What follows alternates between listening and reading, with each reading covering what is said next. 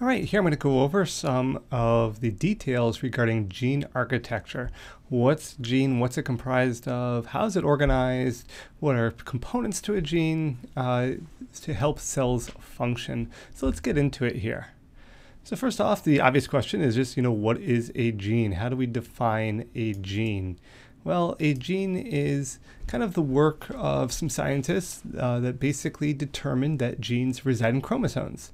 So chromosomes contain proteins known as histones and DNA. So within the chromosome here, the little X, you have that condensed form of DNA. So here's again, here's our DNA, and these little green circles are histones. Uh, so the question was, what is the hereditary material? Is it the protein or is it the DNA here? So when we're looking specifically at those histones, that protein structure that helps organize uh, the DNA, those histones are actually very important. So while we have our chromosome, we have our chromatid, we have our DNA, and then we have those histones. Well, think of this if we have this very long piece of string, it's very easy for it to get tangled. Therefore, histones are little protein structures that allow that DNA to kind of like wrap around uh, to help keep it organized. We see it kind of wrapping around here, and it kind of calls like balls on a chain, kind of all kind of a way to nicely condense the DNA instead of just taking a large piece of string and just kind of cramming it all together to kind of a rat's nest there. Uh, this is a very organized way to be able to uh, keep that DNA together, organized and condensed for the process of cell division. Histones actually have other uh, purposes here, but here we're just looking at the fact that they organize DNA. Now within those histones, this just gives you another kind of image or picture of how it looks. Here's our chromosome, here's our within our nucleus, here's our DNA, and then here's our um, histones, these little uh, blue spheres here.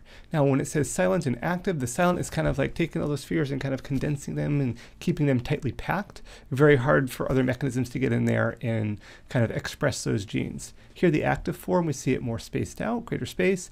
That's allowing for these genes to be active or turned on. Uh, so these histones help that organization of that DNA into potentially an active or a silent or inactive form. Then we're looking at the architecture of a gene in general. You know, how do they kind of look? Well, we have that DNA, which is very important, and we're speaking here in eukaryotes. Genes are basically fragmented, and they're composed of two components, exons and introns. And I don't know why they named them this way, but the exons are sequences that code for amino acids, and the introns don't have any coding regions. So if we look at our DNA here, and then we're going to RNA and our mRNA, ultimately we want to take that full-length DNA composed of exons and introns. Now only the exons are kept, and we see that in our final messenger RNA here. So exons, a lot of people think, oh, they exit. No, exons are kept together. They are the coding regions. It is the introns that don't. The introns are spliced out. Uh, so we could see here's our total DNA sequence, here's our RNA, and our messenger RNA will only be composed of those exons. Part of the reason is this, if there's a mutation or a nucleotide base that's an error, hopefully it falls in one of the intron areas, it's spliced out and doesn't have to worry. This way the cell doesn't have to make necessarily every single nucleotide pairing and matchup uh, be absolutely critical, otherwise one little flip would cause a major mutation. Here there are some basically non-coding regions. As architecture of the gene, again speaking for eukaryotic cells, they transcribe the entire gene, uh, producing a primary RNA transcript. This transcript is then heavily processed to produce mature messenger RNA transcript, the mRNA leaves the nucleus for the cytoplasm.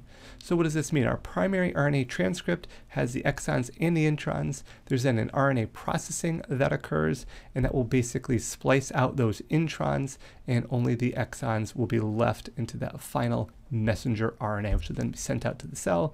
And there's a 5' cap and a poly A tail uh, also added uh, after it's spliced as well.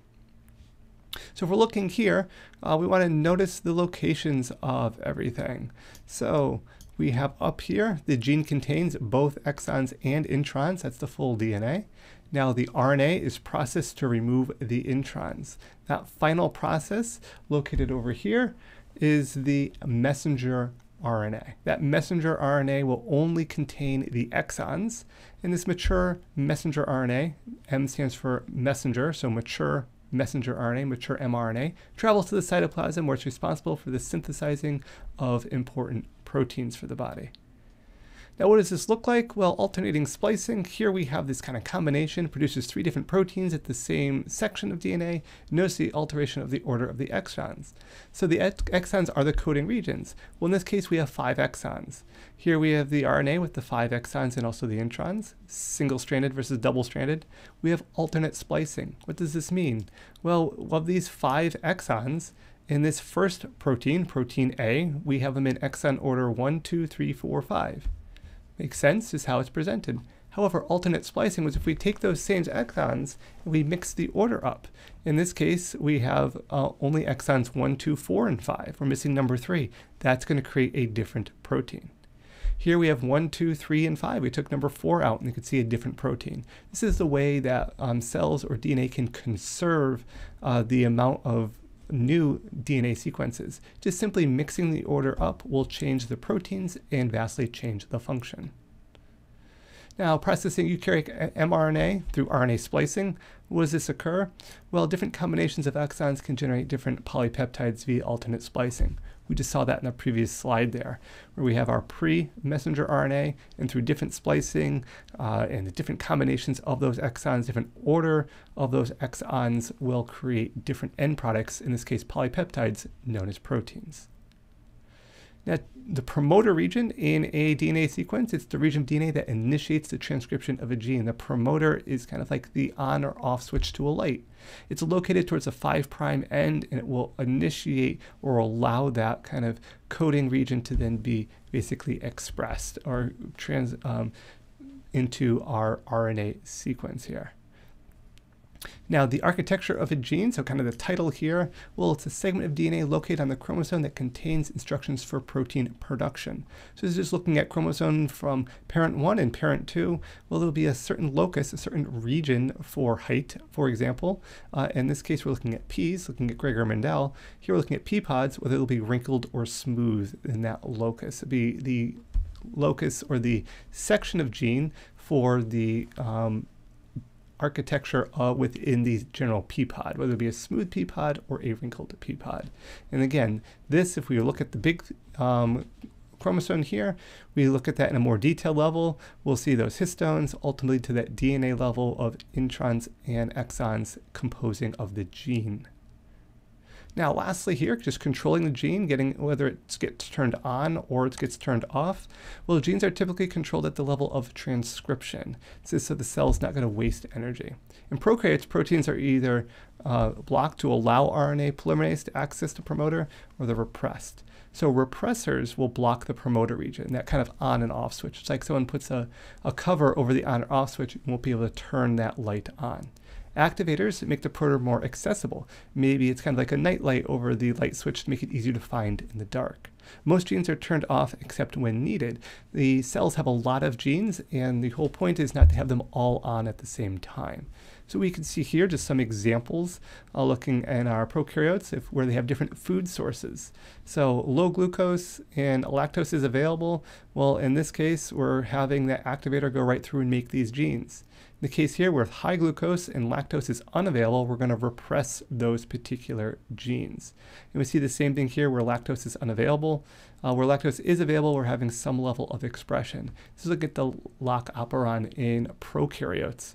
So looking at activating these uh, lac genes. If lactose is not available, there's no point in running that or having the cell go through the process of expressing those genes. Therefore, that promoter region will be repressed and those genes will be essentially turned off. So hopefully this gives you a nice little background here of gene architecture to give you a little insight into the complexities going on within cells.